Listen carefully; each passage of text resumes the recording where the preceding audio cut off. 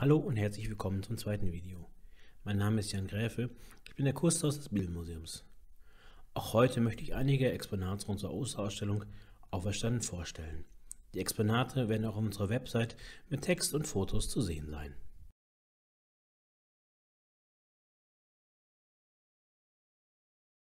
Historia des Leidens und Auferstehung Johannes Bugenhagen 1485 bis 1558 war ein deutscher Theologe und ab 1521 ein enger Mitstreiter Martin Luthers bei der Reformation und zugleich Pfarrer an der Stadtkirche in Wittenberg. Bugenhagen war Luthers Beichtvater, schloss die Ehe zwischen Luther und Katharina von Bora und hielt die Grabrede nach dem Tode Luthers.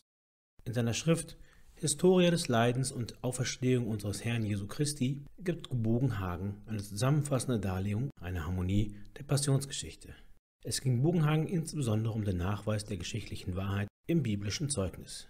Die Bibel steht also im Mittelpunkt seiner exegetischen Arbeit. Zunächst wurde sie in lateinischer Sprache gedruckt. Erste deutsche Übersetzungen erschienen ab 1526. Die vorliegende Ausgabe von 1530 ist noch ohne Illustrationen. Nur das Titelblatt zeigt die Vertreibung der Händler aus dem Tempel. Spätere Ausgaben sind reich illustriert und zeigen somit das Bedürfnis des Volkes nach einer solchen Harmonie und die Beliebtheit Bogenhagens Arbeit.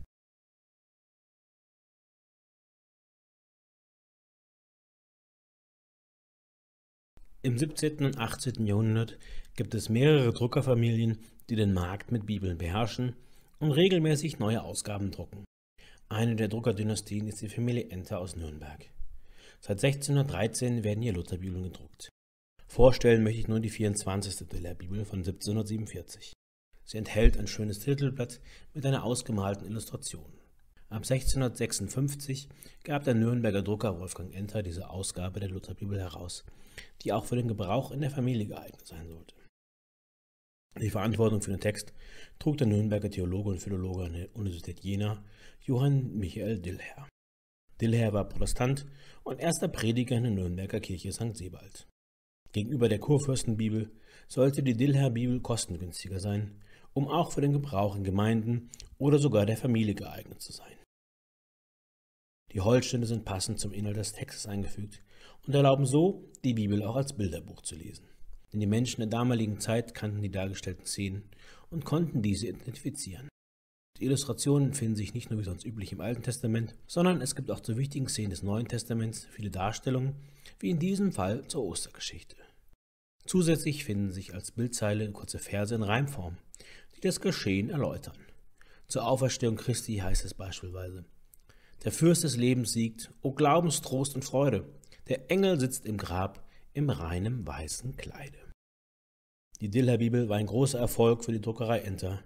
Von 1656 bis 1788 erschienen mindestens 29 Auflagen.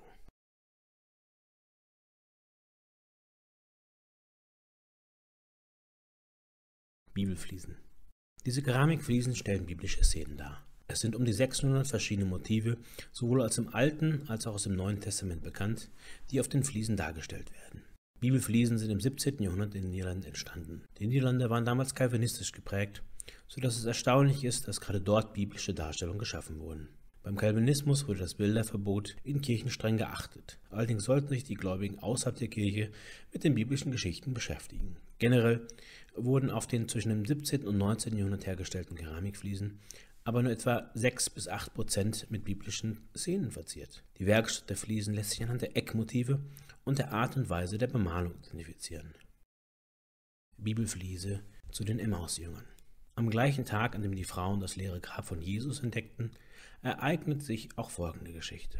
Zwei Jünger Jesu finden sich auf dem Weg von Jerusalem zu dem elf Kilometer entfernten Emmaus. Der eine heißt Kleopas, bei dem anderen soll es sich nach außerbiblischen Quellen um den Evangelisten Lukas selbst handeln. Es heißt, während sie redeten und ihre Gedanken austauschten, kam Jesus hinzu und ging mit ihnen. Doch sie waren mit Blindheit geschlagen, so dass sie ihn nicht erkannten.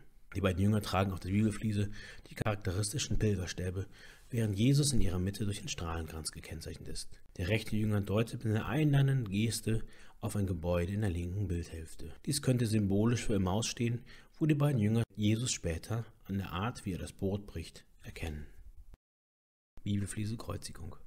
Die hier zu sehende Bibelfliese zeigt die Kreuzigung Jesu Christi und legt den Fokus auf eine besondere Szene, als die Soldaten um die Kleidung von Jesus würfeln. Es heißt, nachdem sie ihn gekreuzigt hatten, warfen sie das Los und verteilten seine Kleider unter sich. Hierbei handelt es sich um eine durchaus gängige Praktik. Die Vollstrecker der Kreuzigung durften die Kleider des Gekreuzigten als zusätzliche Bezahlung behalten. Johannes berichtet davon, dass unter den Soldaten ein Streit um den aus einem Stück gewebten Rock von Jesus entbrannte, den sie durch die Entscheidung per Würfelspiel lösen wollten. Bibelfliese verleugnen durch Petrus. Nachdem Jesus von Judas verraten wurde, wird er gefangen genommen und zum Hohepriester Kaiaphas gebracht. Während des Verhörs wartet Petrus draußen zusammen mit Mägden und Knechten an einem Feuer. Dabei wird Petrus immer wieder beschuldigt, ein Anhänger Jesu zu sein. Aus Angst davor, ebenfalls gefangen genommen zu werden, verleugnet er diesen Umstand aber insgesamt dreimal. Und Petrus erinnerte sich an das, was Jesus gesagt hatte. Ehe der Hahn kräht, wirst du mich dreimal verleugnen. Auf der Fliese erkennt man rechts Petrus und links eine Magd, die ihn offensichtlich erkennt. Petrus hebt seine rechte Hand abwehrend nach oben, wahrscheinlich um der Anschuldigung der Magd zu widersprechen. Zur Rechten sieht man den Hahn. Auffällig sind die mittelalterlich anmutenden Gebäude in der rechten Bildhälfte. Man erkennt, dass der Künstler die biblische Szene in eine ihm nähere räumliche und zeitliche Umgebung verortet hat.